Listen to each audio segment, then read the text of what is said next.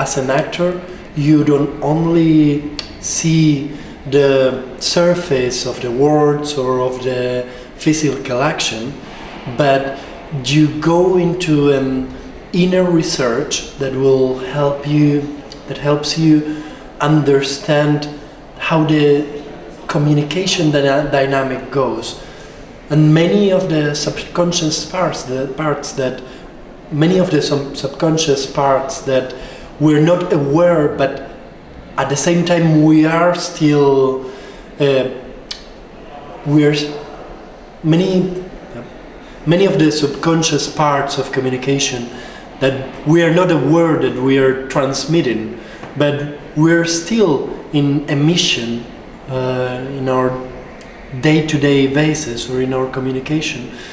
That's one of the things that the farm in the cave work helps you dig and and go very deep into.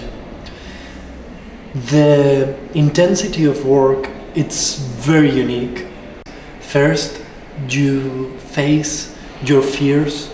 You're in a constant challenge.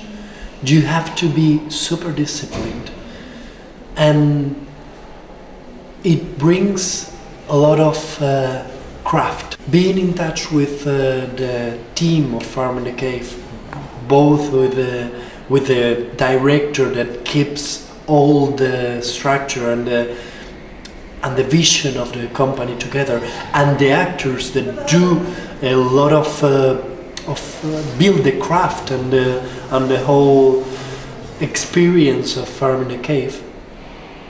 It has uh, brought me a new way to approach work in general, a new way to read the arts and to read the to read the human communication.